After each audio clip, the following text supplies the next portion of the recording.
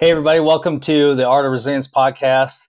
Today I'm here with co hosts Mike Duncan and Chris Call, and we're interviewing one of our good friends, Luis Jones, who served in the Marine Corps for 18 years, uh, got out as a logistics officer and at the rank of major. Is that correct? Yeah. So uh, Luis and I met about two years ago, and he was actually uh, in a graduate program at the University of Tennessee studying a business degree in agriculture. And at the time, I was in the agricultural business, uh, helping run the Farmer Veteran Coalition chapter for Tennessee. And that's kind of how we met and became friends. Fast forward a couple years, um, I'm doing this now, and Luis is driving truck. and he seems to really be enjoying it. And so we wanted to bring him back onto the podcast and just kind of pick his brain. Uh, you know, he, like us, also, you know, really cares about personal development. He's dove deep into Stoic philosophy. And as a fellow veteran, has also learned how to, you know, that personal development has to be part of your life post military, you know, so that way we can maintain some sort of sanity, uh, drifting along, just hoping everything will be okay. Doesn't always work for most veterans who have been through any kind of wartime. So, um, Luis, we're super pumped to have you on today. How you doing? Doing great, man. Doing great, Jim. Good to meet you guys. Good to see you guys again. Chris, awesome hanging out.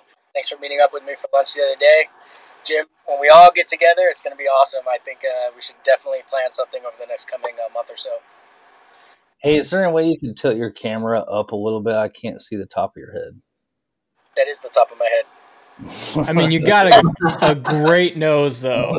Yeah, that's a good. That, that's a good nose. the, the tip to nostril ratio is perfect. Should I move it? So, Luis, you're joining us right now from the cab of your truck. Is that right? Yeah, that's right. So, uh, as you said, I'm a road truck driver now. I drive for a company called Stevens Transport. I've uh, been doing it now for on my own uh, for about two and a half months after two and a half months of training. That's truck driving school, uh, seven weeks on the road with uh, over the road trainer, and then a month and a half as a company driver, and now I'm a contractor, so I lease my own truck. Yep. Awesome. And and you've been enjoying it so far, is that right? Yeah, surprisingly, um, I find that the truck driving life is definitely similar to military. There's uh, aspects of it that are very the same, as in hurry up and wait always. So uh, there's there's also things like trip planning and reporting and communications. Uh, for the mm-hmm. most part, our schedules are almost like a mission set is, uh, where you have a pickup location and you have to plan how to get to that location, and then you link up, pick up a trailer or have a live load, and then you have to plan your route to the next uh, spot, which is at a, a receiver somewhere in some state. Uh, we cover 48, all the 48 states, the lower 48. Uh, we even go into Canada. Um, and so there's a lot of territory that's crossed, and there's a lot of planning that goes into it. Um, the communication pieces, there's it's just like reporting. Like uh, if you're doing a sit rep or whatever, um, you're also tracked by GPS. The trucks are state of the art uh, for the most part. They're glass cockpit uh, vehicles, automatics. Uh, so it's not like the old stick shift days of driving a flat nose Pete. You're now driving a fully automatic aerodynamic uh, diesel truck, which is amazing. Um, it's it's actually kind of cool. I get better sleep in my truck than I do at home, which is kind of surprising. you get you get the purr of the generator. Yeah. about that ambient noise in the background and the vibration, you know, it kind of it kind of yep. keeps, keeps, you level. And uh, yeah, I found that I, I get pretty good sleep uh, in my truck, better probably than I do on the road or at home. So that was kind of a surprise, but tr- adapting to truck life for a military person, especially when that's single, uh, has been easy, and that's because we're used to getting up and moving and being in locations for a long period of time, having downtime, to hurry up and wait. waiting for someone to take care of this load before we can move on to that next location, communicating like that we're here, that we've unloaded, that we've transmitted all our data, and then received orders to move to the next location. Like that's that's straight up just like being in the military. Um, because I'm a yeah. truck owner, like I have to maintain my truck, so I have to pay for the maintenance. I have got to make sure that the truck is inspected before and after each of the operations. So it falls really well into um, someone who's been in the military to be able to transition into something that maybe they didn't know they wanted to do. I mean, it makes sense. You know, like you're kind of in control of your whole work environment and situation, which, um, you know, I think a lot of people like maybe I don't mean to speak for all veterans, but a lot of guys I know and myself personally, like when you're kind of in control of your situation, you've got that structure to work with inside and you have the autonomy to kind of do that planning and, and all that stuff on your own that it, it's it feels safe it's comfortable uh, and less stressful because you're kind of in control of all that. Would you you think that that's part of it for you um somewhat i am a little bit of a control freak i mean i guess every marine i don't speak for all marines but as a marine enlisted to officer yeah i would say that control factor kind of is comfort, comforting. Um, but there is also some aspects of the uncontrollable, like I don't control anything that happens at a receiver or a shipper. So I don't control anything that happens when I leave those locations and I'm on the open road. And a lot of the time, you're dealing with the adversity of being on the open road, uh, dealing with, for all intents and purposes, people who don't pay attention, uh, and trying to use good vernacular here without cussing. um, you can you know, swear, Luis. It's fine. all right, cool. cool, cool. All right, cool. Yeah, just watch no. what the fuck you say, but yeah. Yeah. Just... get smashed and have no idea that, that that's what they're doing. You know, a lot of people, it's, it's, being a truck driver has kind of added a little bit of appreciation for driving because I was one of those guys that would race around the truck and not realize what I was doing. And now that I'm a truck driver, I'm going, damn, that's really stupid it's it's dumb because we're eighty thousand pounds and it takes 150 yards to stop. If I'm moving at 60 miles an hour, most people trucks can stop on a dime. No, we can't. We don't move fast and we don't stop fast. And so, so smashing into you will help slow us down a little faster. so thank you. yeah. yeah, but it'd be like being hit by a tank. You're, I mean, yeah. even you know, like being yeah. so little road bumps, no big deal. So, Luis, we've spoke offline a lot. You know, like we're pretty close friends, and we've had a lot of conversations about, you know, transitioning to the civilian world, just like man to man. You know, uh, dealing with the things that you know you don't have to be a veteran to have deal with. You know, trying to figure out uh, how to find solid ground, how to find purpose. Uh, you know, being a veteran adds that extra level of what do I do with all this hypervigilance? What do I do with all this self discipline? And how do I wrap my head around uh, being around people that don't understand that and be comfortable and okay and, you know, taking care of yourself, personal development has always been something that we, I think, both realize and kind of prioritize in our life so that way it makes the rest of that easier. Since you've been driving truck you know what kind of stuff has surfaced for you in those regards? Like you know how has your mental health been? Your mindset you know has existing been easier for you and you know how are you able to actually take care of your mental physical health as a truck driver that's a great question. Um, let me pause for a second because I want to give a holistic answer um, and a little bit of background. So, when I joined the military, yeah, I ended as logistics officer for 4th Assault Amphibian Battalion, which is an Amtrac unit. Um, but my maturation as a Marine was a field radio operator, enlisted to sergeant, and then transitioned to the officer side and became a ground intel officer. Um, from there, I became an Amtrac officer as well.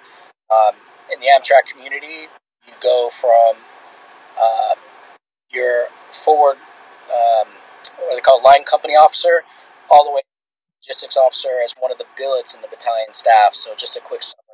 Um, I was deployed, just like you were, Jim, to Iraq multiple times, um, both as an enlisted man and as an officer. So, had a background in combat. Transition. Now I'm leading Marines in combat. You know, so you were and then the leader at the same time, right? I'll tell you this: the transition to civilian life for me was probably a little bit different than most.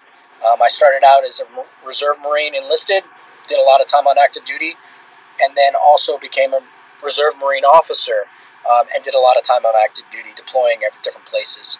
Uh, so I have a different kind of background than most active um, service members. Yes, I saw combat. Yes, it was hard. Yes, I got divorced twice, which a lot of military members, you know, we, we lose family members like that. Undocumented, unrealized uh, trauma that we may have covered up by our own ego, right? Don't answer to it. Um, fast forwarding from 18 years to now, um, I will say that it has been a tough transition. One, as you know, Jim, like we've had multiple discussions. Uh, transitioning, and Chris, you and I have had discussions as well. Transitioning has been a little bit more difficult because it's given me time as I've left the military to have to think. And this is the first time I'm actually realizing things that have happened in my life or choices that I made and the impact those choices made on my current situation, right? And so it's been a bit of a gut check uh, no, forget that. It's been a, a lot of a gut check to kind of realize where I was, what I thought I was becoming, and where I am.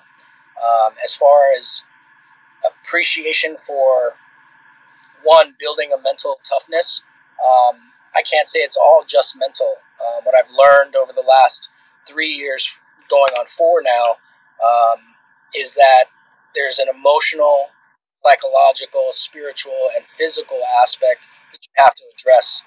And battling with that has been tough. I would say this year is the first year out of five years uh, that have, that I've actually gotten a little bit better headspace. Um, come full circle, as they say, to try to figure out not only what I am or who I was and what I am now, but who do I want to be, and being comfortable with that. Um, it's been tough. I'm not gonna lie. It's uh, been a challenge every day. Um, sometimes it's about remembering where I'm at and being grateful. All the things that I did before helped me to prepare myself to be where I am now. And even though truck driver may not be as glamorous as an intelligence officer working at the Pentagon, um, you know what? It's bad. So realizing it has been really one of the biggest lessons so to me, like not being a truck driver, like I would be a terrible truck driver. I like I'm like borderline narcoleptic when I'm driving. like whoever's riding in the passenger seat as an adult with me knows that. Like my wife or my sisters, and they're like, "Are you still awake?" Staring at me like they like want to fall asleep, you know, but they're like can't fall asleep because they're afraid they might yeah, die while they're asleep. Um, so I definitely could never be a truck driver but you know i like i was making a joke before we started recording about the wheels of death you know like truck stop food uh you know the little taquito steak cheese roll ups and hot dogs and you know tornadoes like, it's just tornadoes. all processed garbage food and i know you've got a cab in your truck you know where you've got you know a microwave and stuff.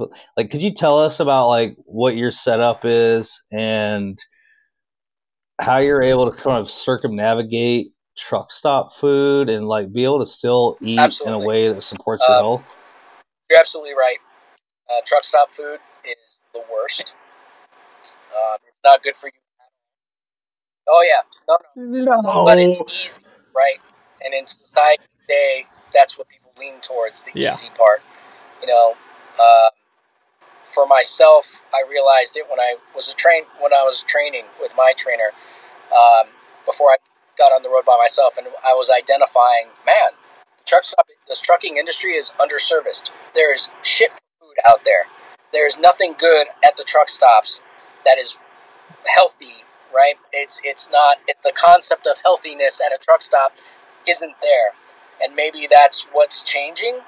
Like there are fresh markets in some truck stops, but what you get is like hard boiled eggs, some salad, maybe some yogurt, and some fresh fruit mm-hmm. or even canned fruit, right? That's been put in a plastic container, right? There isn't really much more than that. Everything else is processed. Everything else is chips and, and whatever's fast, the taquitos, the you know pizzas that are fucking nasty, um, and hamburgers that are like you can't, you can't even tell if it's really meat, but it but you're hungry and you're gonna eat it.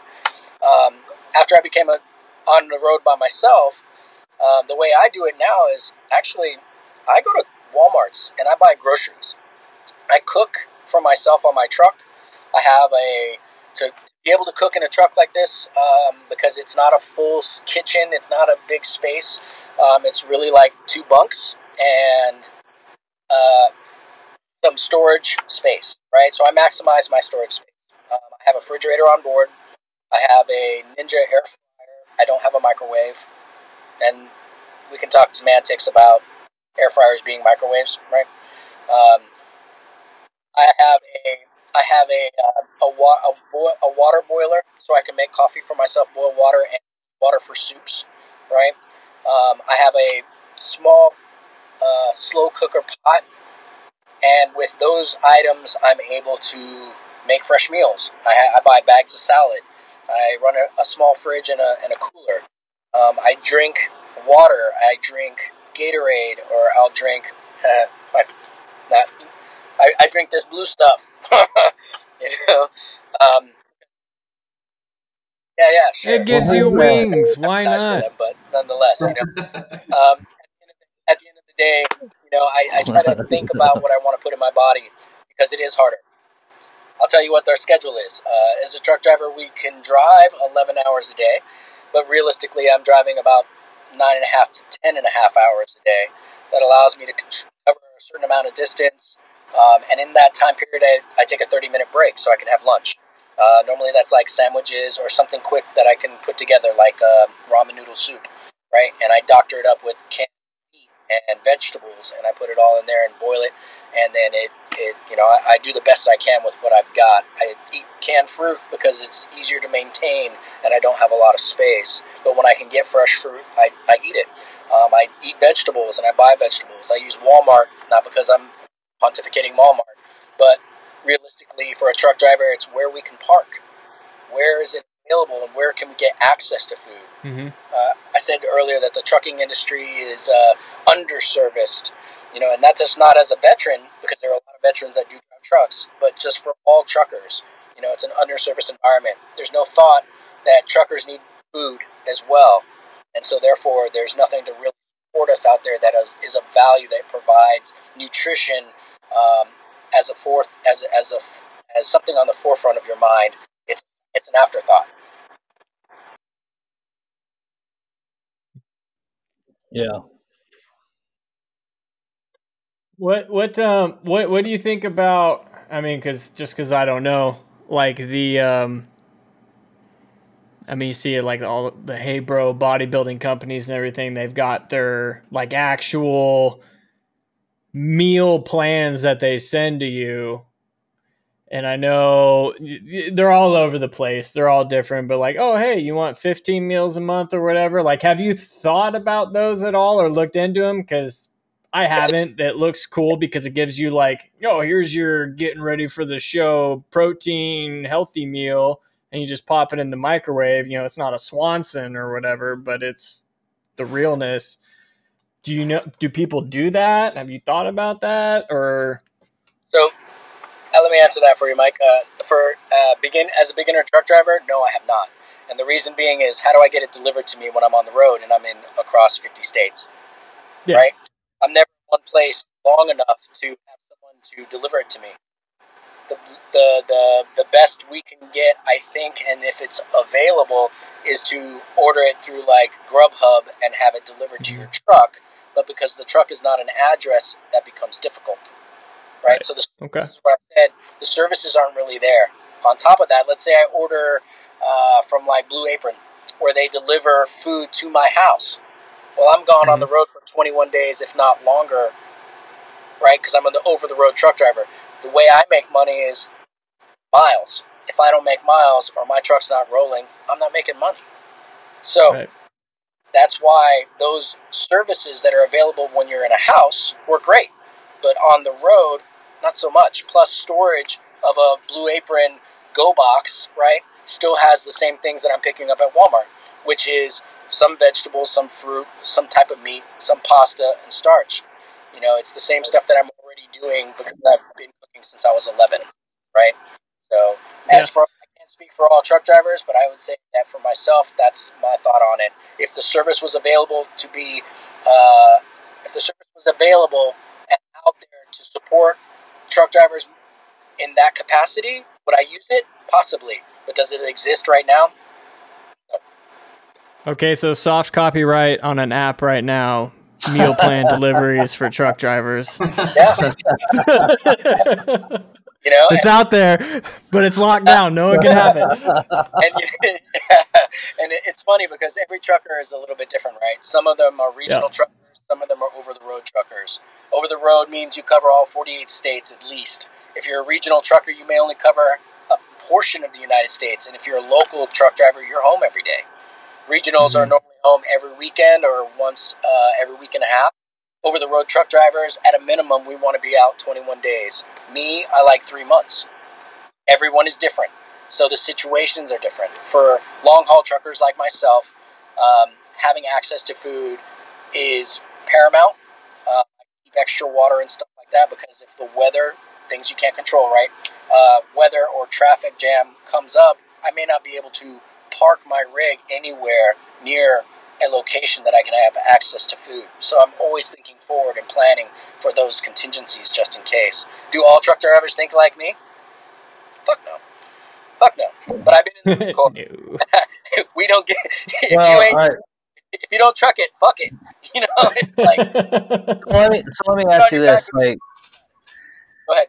Considering the environment that you're dealing with, right? Which you know, environment, I would say most people agree is like stronger than willpower. So the fact that you're able to maintain that discipline to make eating healthy and cooking your own meals a priority says a lot about who you are and makes me want to ask you like why is that important to you like how like how much do you feel like prioritizing cooking your own f- meals, using whole foods, good ingredients, really enables you to feel the way that you do now to be able to do your job, to maintain positive mental attitude, mental health?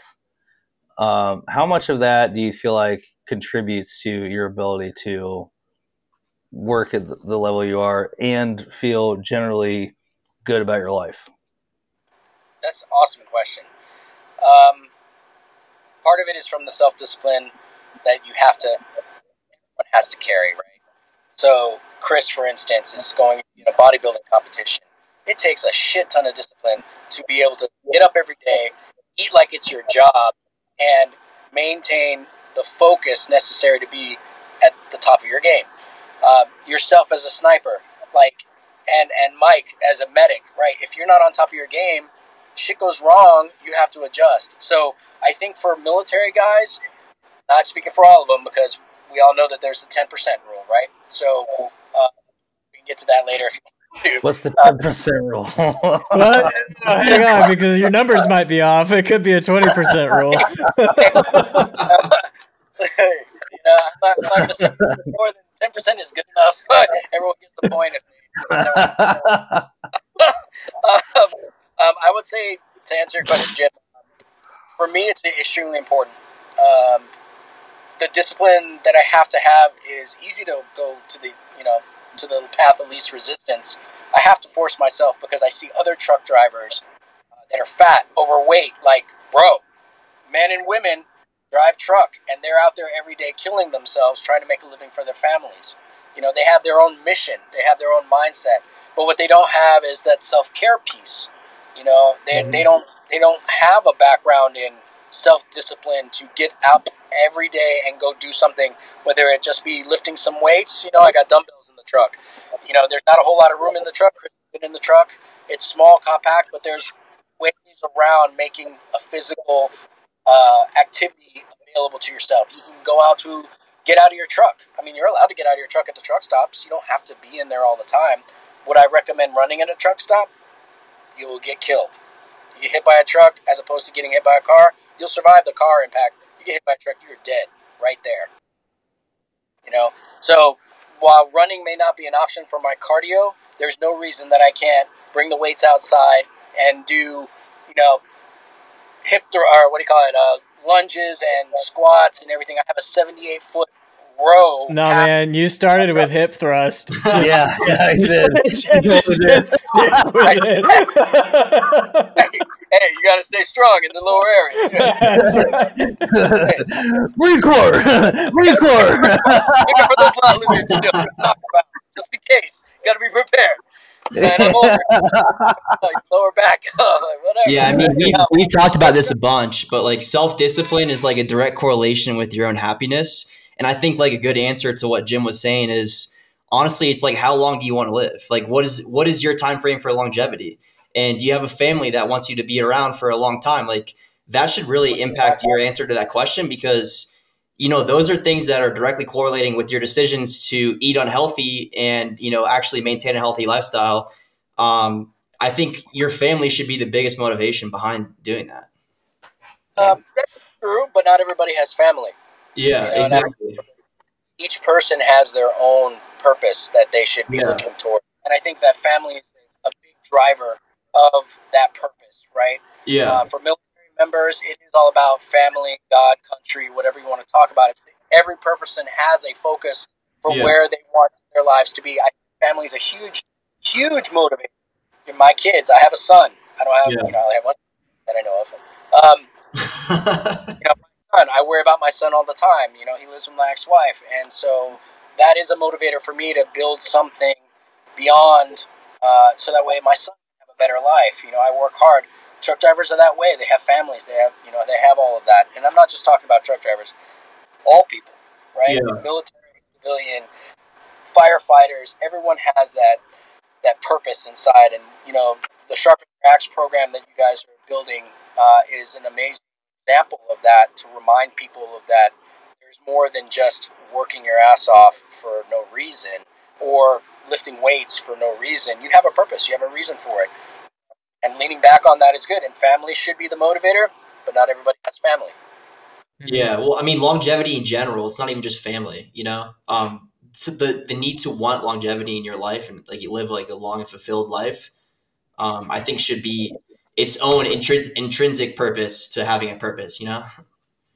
Um, at, at, as a level 48 paladin, I'll tell you that, uh, um, no, 40 life taught me a lot of different things, so it's different for everybody. Um, yeah. I never yeah. thought I would actually live to be this old, you know? Uh, so longevity, I think that's a secondary thought process or a secondary consideration if you're just tr- start struggling to survive, right? Yeah. You're not worried mm-hmm. about 10 years from now, you're worried about right now.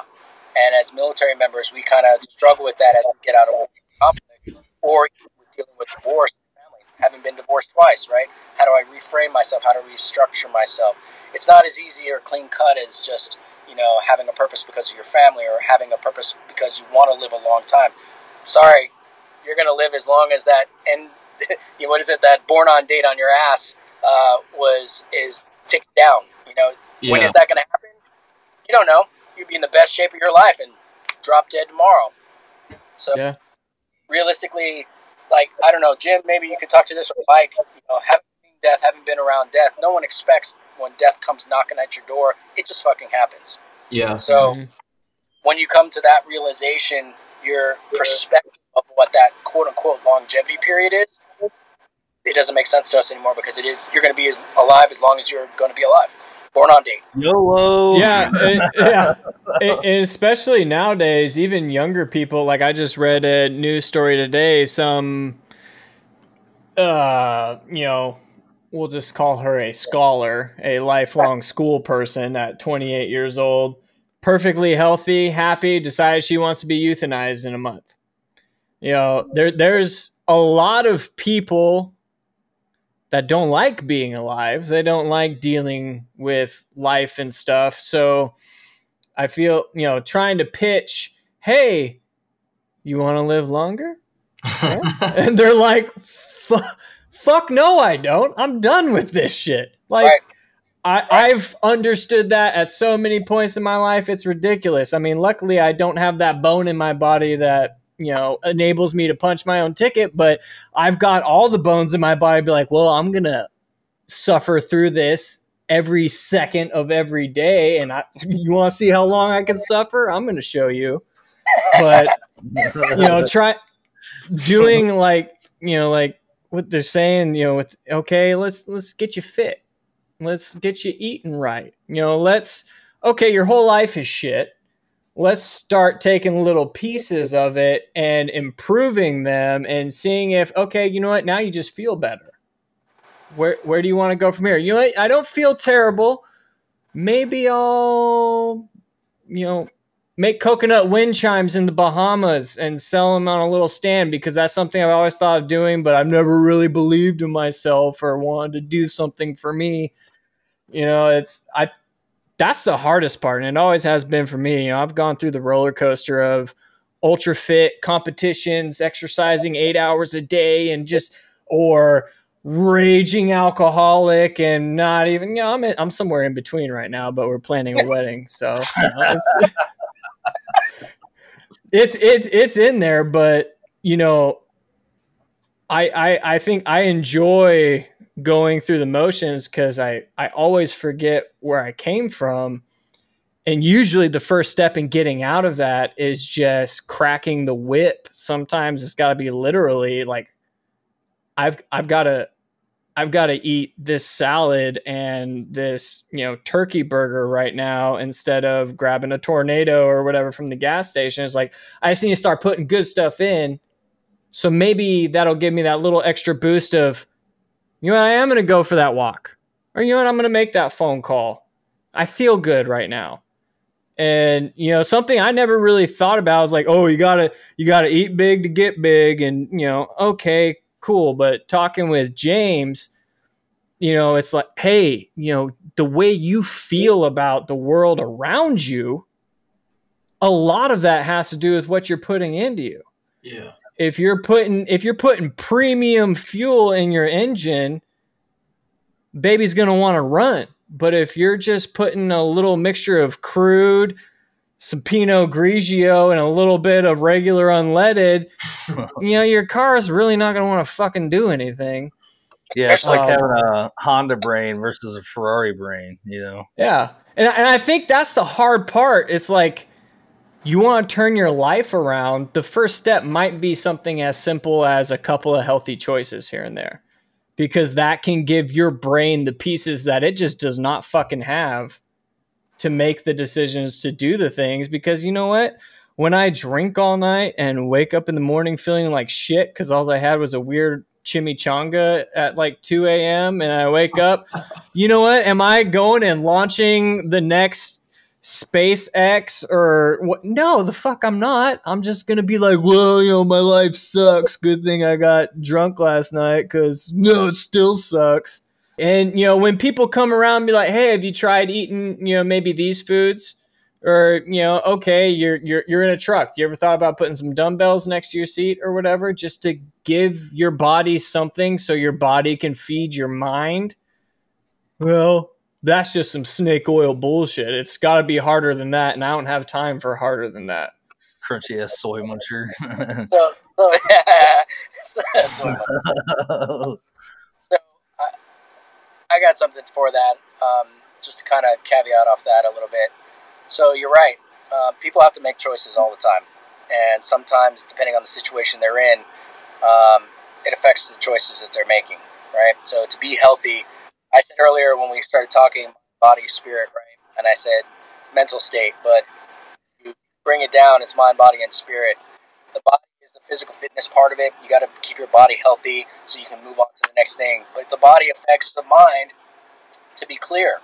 You know, mm-hmm. when, when you go and work out, how do you feel? You get that headspace, you get that that high, either from bicycle riding or lifting weights or whatever. You get to that higher state of oxygenation Um, and you you feel physically better when you've done it. Yes, it sucks in the beginning for having not done it for a long time, but eventually it gets better and better, and you get addicted to that feeling, which Chris can probably attest to in the program that he's in right now. You know, it sucks when it sucks, and it's awesome when it is awesome. Okay, well, yeah. the mind part of that mind, body, spirit is educating your mind not just to watch TV or swipe left, swipe right, jerk off to your phone.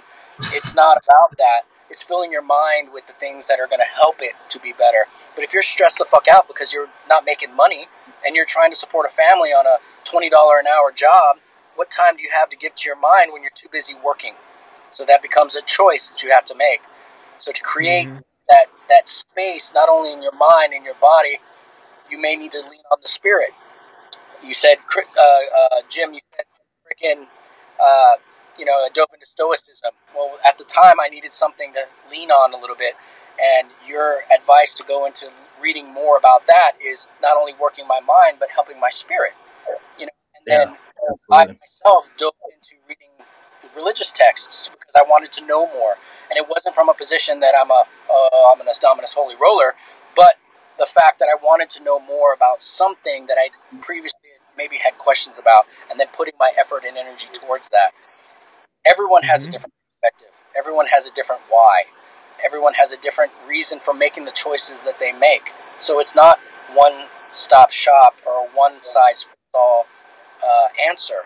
You know, when when we're chopping it up like this, each of you make really valid points, and so just understand that there's no fit or a, a, a box for everybody. Everyone, we have to get outside of the box in order to actually break make those breakthroughs. You know, Let me, and so go ahead. Let me ask you this: so, kind of everything that we're talking about, sort of, has me going towards thinking about values. Right. I just had a conversation last night about values, and you know, the in the conversation I was having, they're like, you know, what's the first thing that comes to mind when you think about living a life full of values? And one of the first things that came to my mind was self awareness, because you really have to have that self awareness and be able to identify or know what your values are in the first place. I'd say most people have never even had that thought before. They they couldn't tell you what their top five values are.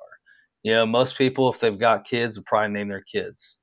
You know, and look to just like superficial things like making money or just survival stuff. But we all have values, right? And values is probably what drives you more than other people that are truck drivers or work in the trucking industry to have weights in your vehicle, to prioritize cooking your own meals instead of eating the bullshit that's like super easy that takes no effort that you can buy, you know, it's going to create disease. But you've got values that drive those decisions and those behaviors. And, you know, it's a testament to yourself. You know, I'm sure 18 years in the Marine Corps probably helped you identify what some of those were.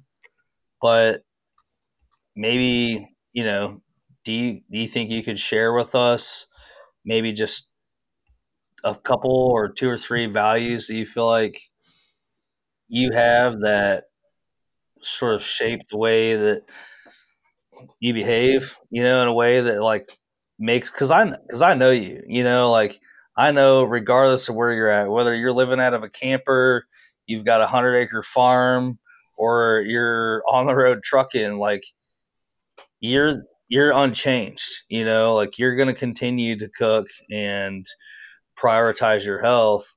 And to me that's kind of exceptional you know because most people can't do that when they have a nine to five job.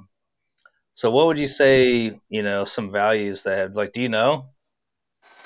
Yeah i got some values that i run with. Um, but where did they come from? Let me start with that. Uh, so i think a lot of your values come from your family right? They start you off. As you grow up, kind of attach yourself to new ones that you learn about. Uh, so you mentioned military. Um, the values. So from my family, it was self self um, self reliability, right? the ability to be independent. Uh, I got that from my mom and my dad.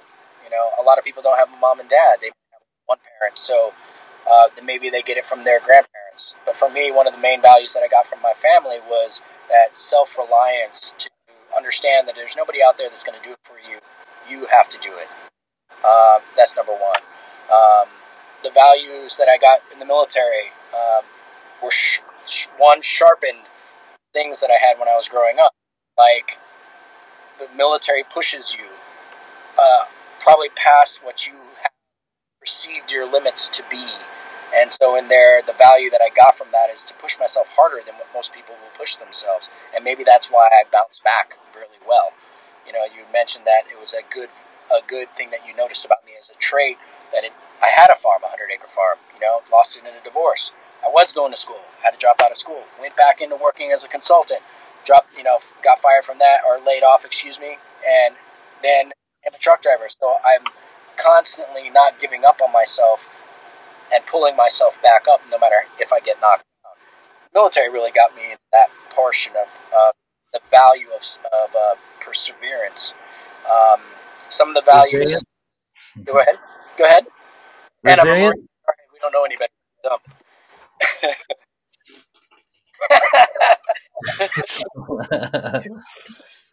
no, I was just saying what, what, you're describing to is sound resilience. You know, just uh, being able yeah. to overcome, adapt. You it's know, also will. I mean, it's it's kind of will, right, Chris? Mm-hmm. I mean, can you talk to us about like how your will is allowing you to be like, you know, a bodybuilder? Like, this is no joke. You're dedicated to becoming a bodybuilder. Exactly what Jim is talking about.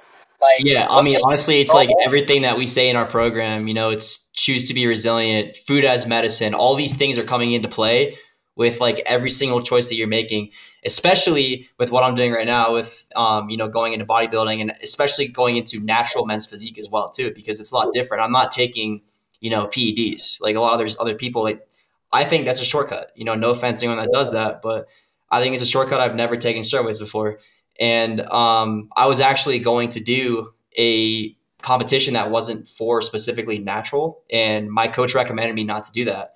Um, but every single choice that you're making, you know, I have a choice whether I'm gonna, you know, cook something that's I made myself um, on the stove or heat up some frozen chicken uh, that's that has a lot of sodium in it. Probably, you know, uh, it's gonna take longer for me to cook that food, but um, the fact that I'm not doing, you know, the shortcut and doing, you know, the longer route, I'm going to get better results from that. And it's kind of funny that we're talking about this specifically on this call because today um, was letter 15 that we did for uh, Letters from a Stoic.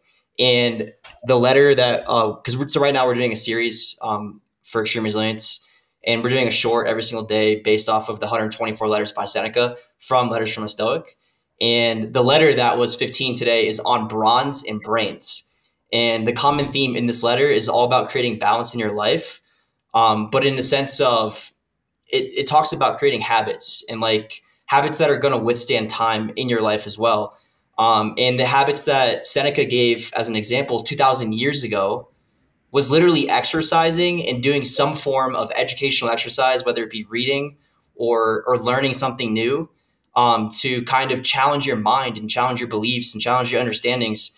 And um, I think when it boils down to it, uh, self reliance, you know, self discipline, and being able to, you know, maintain this like stoic philosophy type of understanding of your surroundings um, really helps drive and basically guides your choices of choosing that path of resilience as opposed to you know choosing that the path of you know let me just heat up this frozen chicken that's got a ton of sodium in it because it's faster it's easier and it tastes probably a little bit better um, but I know that I'm not going to get the same results that I would if I were to, you know, actually cook my food on the pan and, or, you know, throw it in the air fryer without any seasoning on it or, um, you know, not go to a fast food restaurant or like yourself, like literally go out of the way to cook food when you're on the road as opposed to just going into these trucker stops and, you know, getting one of these taquitos that are probably loaded with fat and like bad fat and,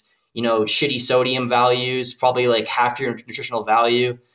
Um, it, it, really boils down to every single choice that you make throughout the day and throughout your life. Um, it, I think it comes down to self discipline and uh, you know being able to have the mental fortitude and the will power to continue to make those resilient choices intentionally, um, as opposed to take shortcuts. And I actually have a lot of questions, um, but you, if you guys want to kind of comment on anything I said.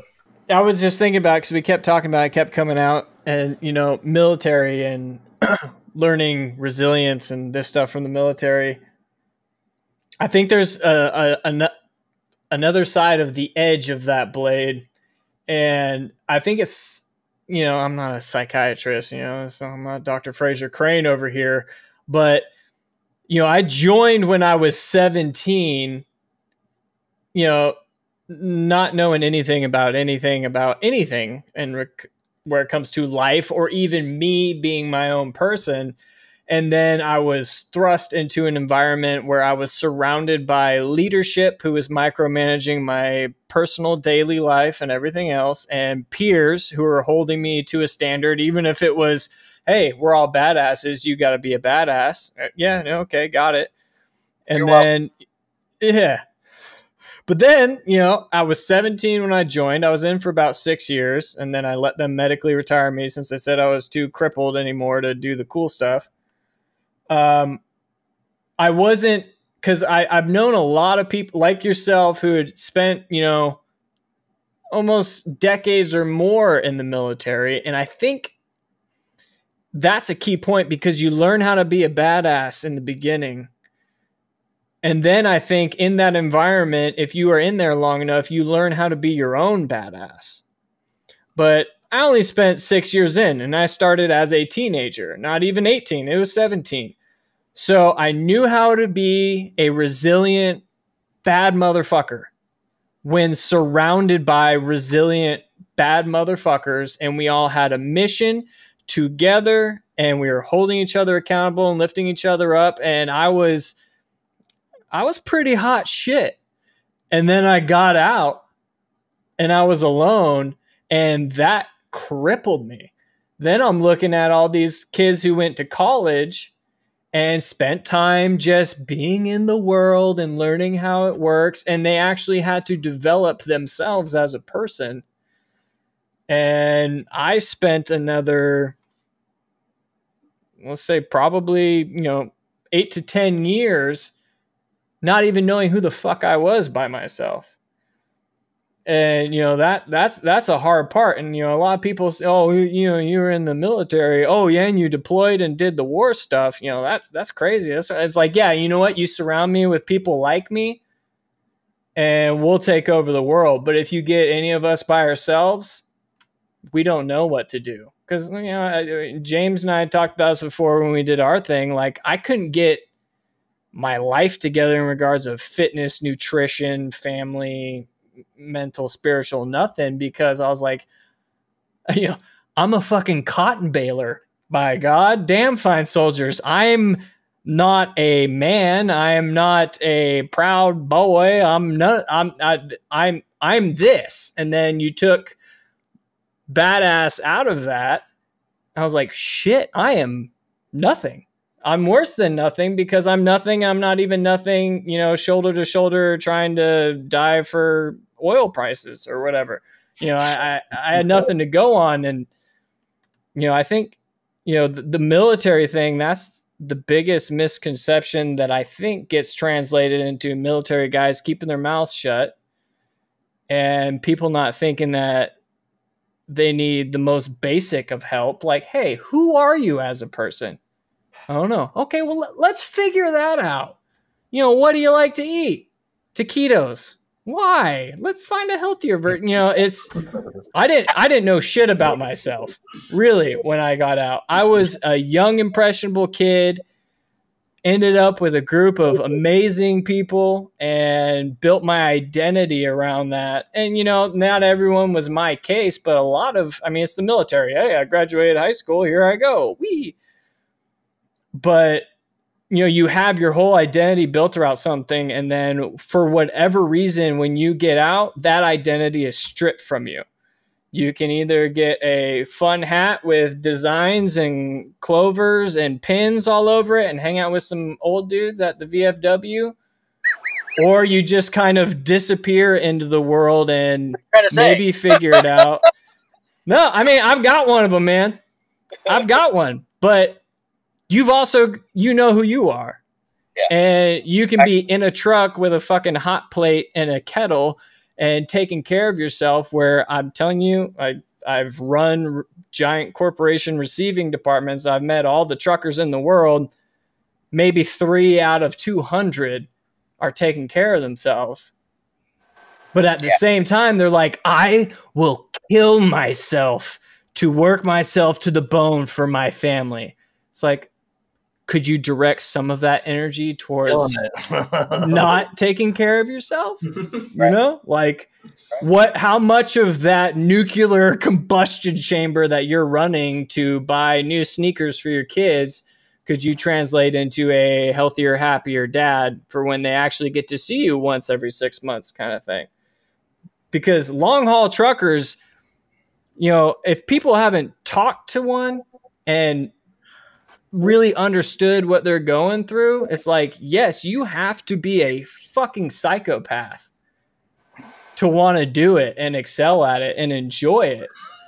but if you if you've already got that going for you, like why not be a little bit extra batshit crazy instead of grabbing a taquito while you're refueling, you know, taking the next exit and going to Walmart and getting a goddamn cucumber. You know, yeah. it, it it's the same thing with like these people fresh out of the military. It's like, well, I don't know why they're killing themselves. Or, dude, you got out a year ago and you gained 150 pounds and you're stupid. It's like, well, how do we just redirect that crazy drive you have towards who you want to be? Uh, you know, uh, I hate the military thing because if people find out I was in the military, they automatically write me off as I don't need shit because I didn't, I'm not digging foxholes in my front yard and I'm not still in the military, so obviously I've got my shit together. But like you know, it stuff like that can be hard and you know, long haul trucking, like that is a hard life. And people like, "Wow, dude, you spend, you know, 21 days minimum on the road?" Well, you've got your shit together cuz otherwise you'd be a psychopath and probably dead. Well, you know, maybe maybe not, but you know, I that that's the hardest thing because I mean I can exercise with the rest of them, but how do we, you know, just get people to put the pieces together? Because you know, listening to stuff, especially that James has told me about, you know, this extreme resilience and the sharpen your axe program. You know, he he was just asking my opinions about things, and he just was just railing down the list of you know nutrition. Let's reset your gut biome. You know, let's do some like kind of guided meditation to I'm like I'm sitting there like, yeah, you know, that sounds cool, gay, whatever. But meanwhile, I'm like, uh, so are you gonna tell me more? Because he's railing off stuff that's just a light bulb for me. But no one, and he's not the only person that knows this stuff. But yeah. no one ever wanted to tell me this stuff because Oh, well, I was Doc motherfucking Duncan. Uh, uh, uh, whatever. I was hanging by a thread my entire life. And then everyone thought I was cool. Um, I guess that's where the whole 22 a day BS comes from, is because everyone thinks we're cool. And, you know, you spend any time in military, you learn how to present yourself as, yeah, I'm, I'm good. I'm better than good. But I'm better than you. Just Facts. kidding. I don't know. I don't know about that. No, like like that's a lot to unpack, uh, no doubt. But you're absolutely right. I mean, joined the military at a young age. I didn't join until I was 27. Doesn't mean I knew who I was. In fact, I still don't know who I am. I'm reinventing myself almost on a, on a every five year basis, bro. So, what I will say to kind of uh, talk to what you're saying yes, there's a lot of expectation that is placed upon young kids that go into the military. In fact, we break you down and build you back up no matter what branch you're serving in to a mindset of, you know, you're indestructible. And when you're young, you think you are. Mm-hmm. When you get mm-hmm. out from that what we call the, the like uh, a, a, safe environment, even though that environment can still kill you. Um, you have no idea how to operate in the civilian world because you were a child when you entered. You know, mm-hmm. people say 18 year olds are adults. What does an 18 year old know about the world? Not a fucking thing. so, what does a 25 year old? I was 27. What does the 25 year old know about the world? Very few of them know that much. Okay, so I got to understand where you were and where you are. Um, coming out of the military, the expectation is that you'll adapt right back into society. Well, you no longer fit in that anymore, and you're trying to fit yourself back into a mold that was never that was you back in the day, but is no longer you. You think differently, you move differently, you talk differently, and you're trying to reinsert yourself into a world without guidance, without help, to understand mm-hmm. how to re-assimilate into the society. A lot of people get out of the military and do kill themselves. Why? Because they lose that connection with the brothers and sisters that they served with, and that was comforting to them because you were all in the suck together. Well, believe it or mm-hmm. not, civilians are also in a suck, just different, just a different type. You know, so what makes some of us military members, those that do not kill themselves, those that are able to adapt and overcome in their lives, has to do with a little bit of that what's within, a little bit of what came as the values, like Jim was talking about, that you were raised with, and then as you were maturing into your adulthood, um, and how you apply it. So going back to Stoic philosophy or any type of philosophy in general, is that if you don't apply it, it doesn't matter. So all that knowledge, all that experience, unless you take it and apply it, you're not going to be resilient because you're not even applying what you learn.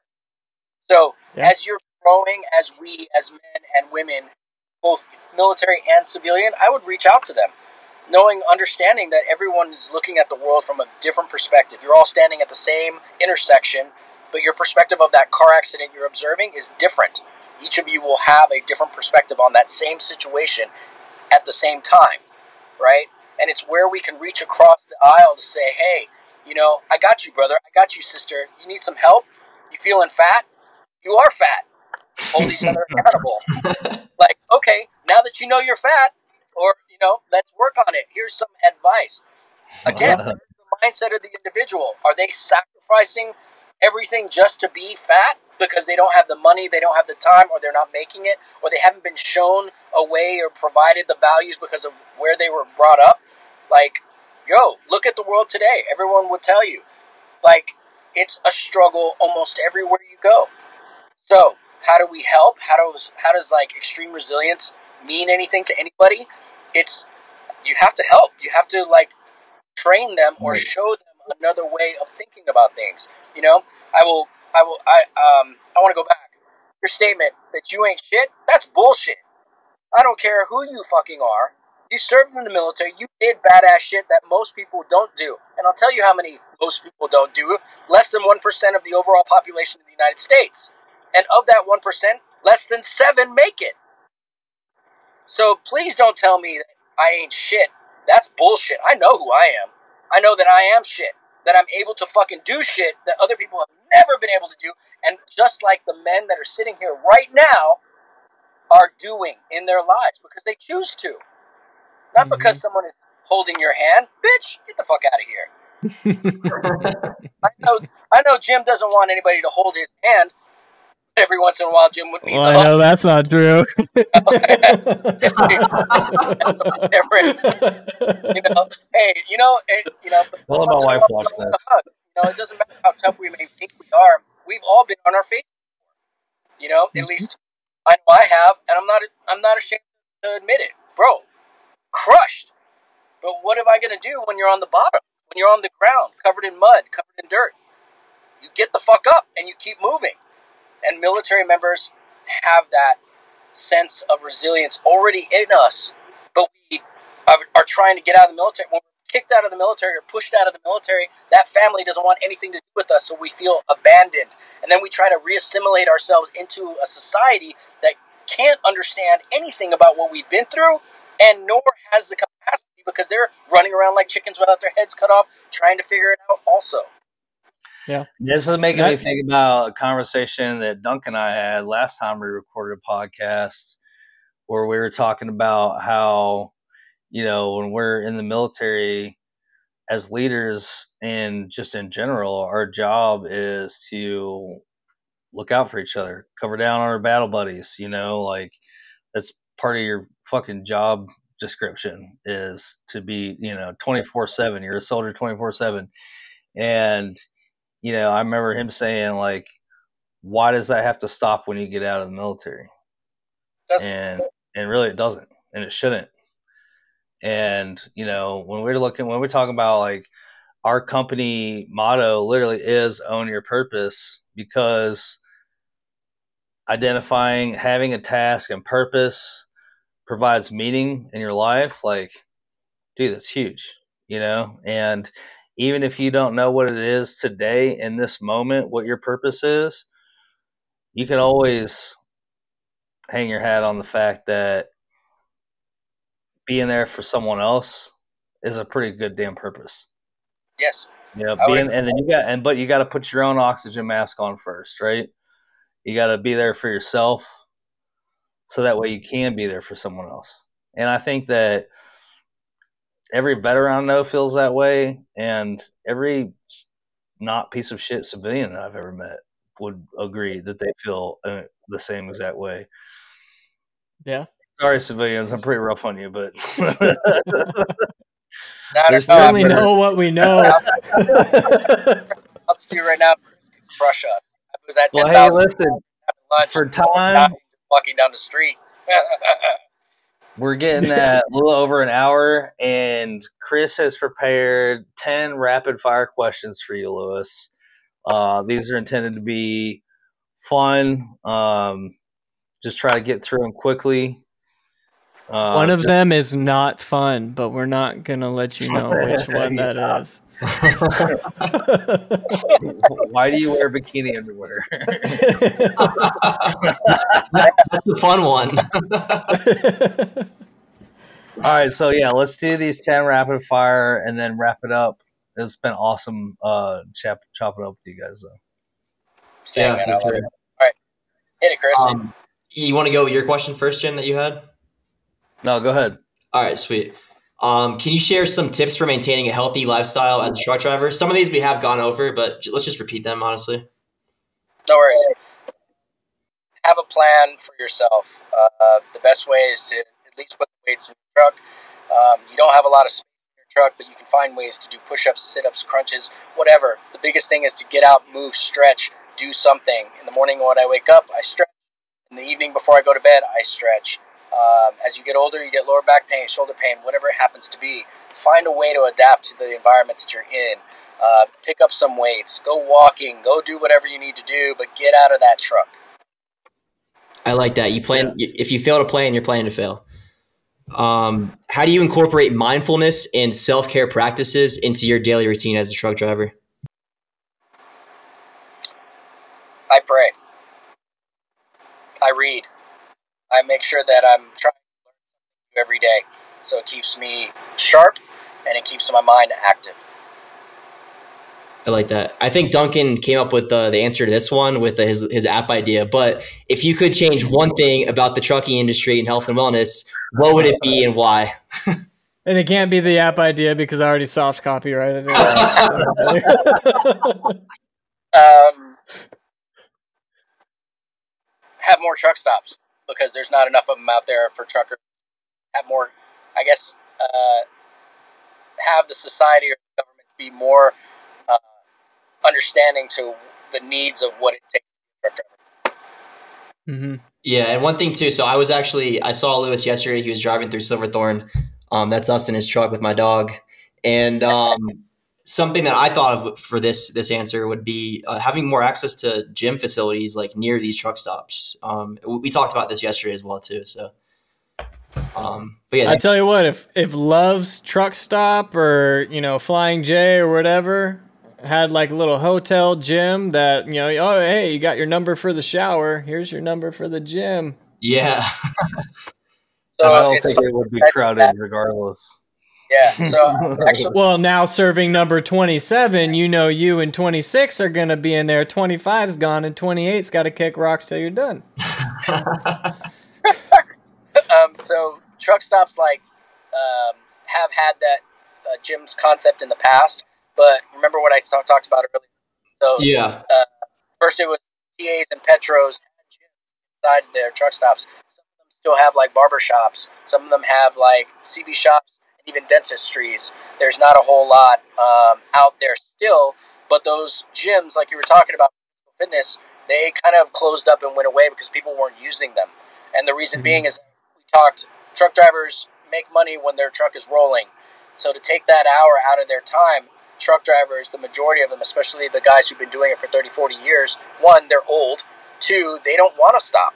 They want to keep rolling because if they stop, they're not making money. And to them, time and time and miles make money equal money. So, all right, next question. Mindset of the of the environment or the people in that environment. As new truck drivers are coming on board, maybe offering those services again in the future may be a possibility. Yeah. No. Have you considered the Stallone over the top in the truck, like arm wrestling contraption, so you can constantly be working on your dynamic muscle groups and. It's a whole bar, so it's like. oh, he literally, he literally pull ups inside his truck. Driving down the road doing pull ups stuff is not as easy. Good. That's what I'm talking about. so, so uh, I prefer the over the top. I think that's kind of cool. Um, even though, like I said, most of the truck drivers don't look like Stallone. They kind of look like the Kool Aid Man. But if we built some kind of total gym that attached to the back of your average Freightliner chair where you could be yeah. working on your flies and curls and everything, Okay. Now, okay. now remember, uh, now remember All right. What is your what's your definition of resilient in your own words? Oh, willpower. Push-ups or pull-ups? Pull-ups. AM or PM lifter? Oh, I'm lazy. Um, I would say AM. Barbell or Smith machine? Probably not going to get done. It has to be the first thing I do in the morning. Yeah. Uh, barbell or Smith machine? Barbell. Go to go to cheat meal. Gummy bears. Uh, go to dessert. Carrot cake. Can't be gummy bears. you say cupcake? Carrot, Carrot cake. Oh, all right, I, thought, I, got two more. I thought of one more as we were doing this. Um, but the first one, if you could work out with one person, dead or alive, who would it be and why? Genghis Khan. And why? Because Genghis Khan was a badass and he dominated most of Europe and did not give a fuck. He was an amazing strategist for his time. I like that. And even uh, though Jan Žižka was never defeated, but one. it's not a matter about your defeats, man. It's how you live, bro. And Genghis Khan lived. He did. It made everyone else live. All right, last one, Luis. Um, who is your favorite Stoic philosopher and why? Epictetus. Um, I think that he inculcates things that Seneca and Marcus Aurelius both uh, put forward, but Epictetus cuts through the mustard, uh, speaks on a not only a philosophical but a but a but a level that touches both the spirituality aspect of what most people are looking for when they go to church. Um, you know, talking about the gods and their impact on you, and then your place in the world as a realist, um, using rational mind and rational thought processes to evaluate what's going on with you and realize that you're much stronger than the society would let you know. Yeah, that's you know, society wants to put you in a box. He just says, "Fuck that," and I really like uh, his writings, and I really like uh, what he has to say. Um, he would have been cool to meet. Yeah. Definitely. All right. Awesome. Any other questions, guys? No, I think that's it, man. Luis, I appreciate you hopping on with us uh, from the cab of your your little podcast studio, your mobile po- podcast studio. Yeah, oh, and rolling before pods. We, before we go, um, maybe everybody can vote on the name of Luis's podcast. He's got, he's got two options right now. Um, so far, he's kicking around Minute of Angle or the Anonymous Trucker. Nah, dude, I like on the road again.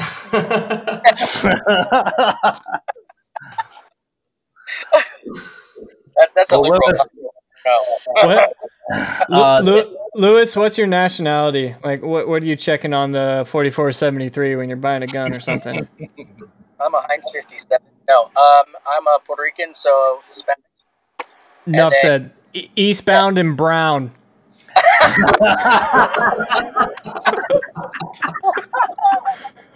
Oh, wow. that was amazing. You're welcome. It's done. Could be the Beaner train. I don't know. It- it- that. Like, hey, what's up, bunny? Hey! Órale. All right, buddy. Well, thanks damn. you again for joining us. It was awesome, uh, as always, talking with you. And um, thank you, everybody, for watching. If you enjoy what you're watching, uh, if you've got any awesome comments or anything to contribute about what we talked about, uh, please uh, comment, reach out to us. We'll absolutely respond to that. We love that engagement. And that's what we're trying to do here. So, uh, educate, inspire, and what? Engage.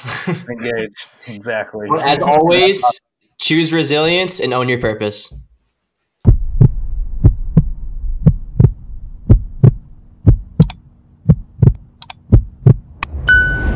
Thank you so much, everyone, for listening. We really hope you liked this episode. Please don't forget to like, comment, and subscribe to our channel. It truly helps, and we appreciate it immensely. And one last thing, guys please share this video to everyone you think it may help. It allows our content to reach those that may need it most. But all right, see you next time. Peace.